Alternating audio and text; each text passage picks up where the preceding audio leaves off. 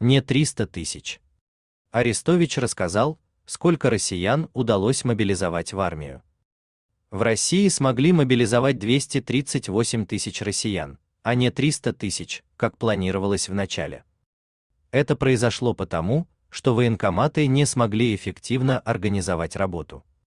Об этом сообщает РБК Украина со ссылкой на заявление советника главы Офиса президента Алексея Арестовича в эфире Фейгина Лив.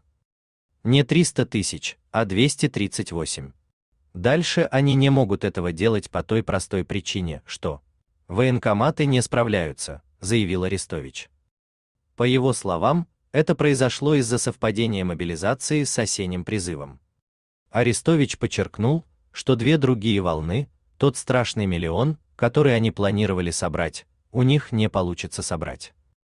Они смогут это сделать только в том варианте, когда всех убили, они собрали все оружие, всю одежду и надели новые.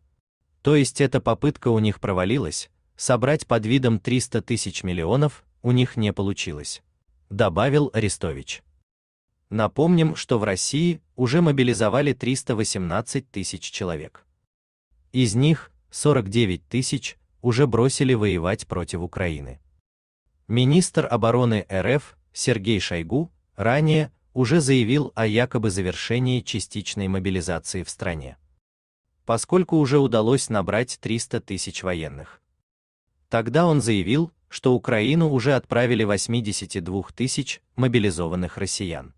Между тем, международные аналитики подчеркивают, что Минобороны РФ продолжает скрытую мобилизацию под видом формирования добровольческих подразделений, несмотря на заявление Владимира Путина об окончании призыва резервистов.